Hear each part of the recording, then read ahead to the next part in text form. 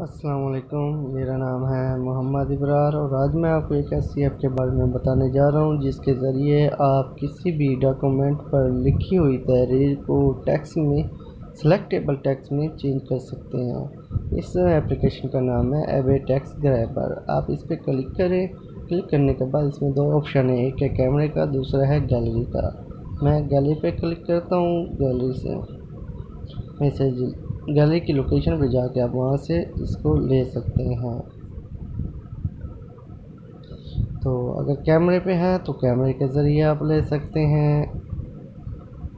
आप जहाँ जैसे कि ये मैंने एक पिक्चर ले लिया है तो इसमें से आपको करना ये होता है कि आपने वो एरिया सेलेक्ट करना है, जिसको आप सेलेक्टेबल टेक्स्ट में चेंज करना चाह रहे हैं।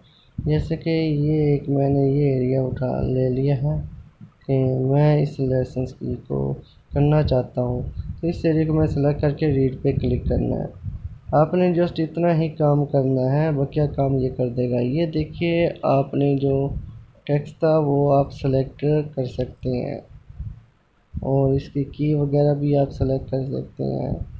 तो इस तरह आप इजीली किसी भी लिखे हुए टेक्स्ट को पेज पर है या स्क्रीनशॉट है तो अगर वो वाज शो हो रहा है तो आप उसके ज़रिए किसी भी टेक्स्ट में इंग्लिश राइटिंग को चेंज कर सकते हैं।